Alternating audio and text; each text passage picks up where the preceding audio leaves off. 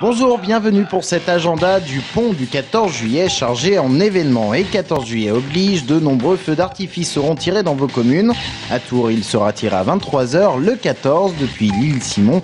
Blois, en revanche, a choisi la date du 13, un feu d'artifice qui sera suivi d'un concert gratuit de Stromae, le chanteur électro-belge. Le tout se passe sur les bords de Loire.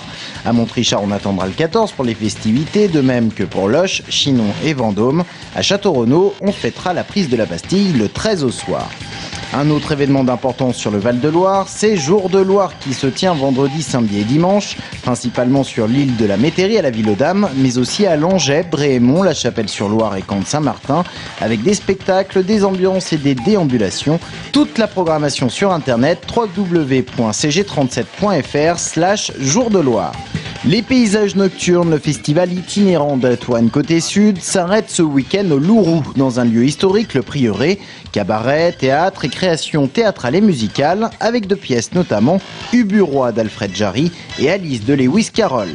Dans un tout autre registre, le Parc Expo de Tours vous invite en vacances dans les îles comme si vous y étiez. Une plage sera reconstituée, une ambiance tropicale recréée, avec un invité très spécial, le groupe Cassave samedi soir et l'Orchestre national de Barbès vendredi soir. Vous l'aurez compris, au compte sur la musique au Parc Expo pour s'évader, plein de DJ aux couleurs du Sud seront présents. Les 4L sont à l'honneur ce week-end à Tenay, dans le Loir-et-Cher. La troisième édition du 4L International se tient vendredi, samedi et dimanche.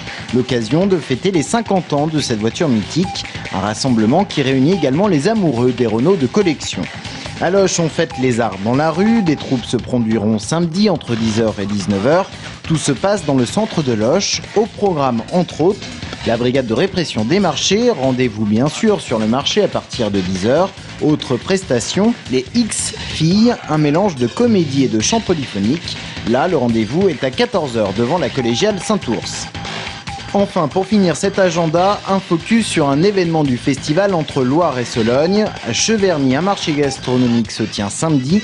Il est nocturne, enfin presque. Rendez-vous entre 17h30 et 22h30, place de l'église.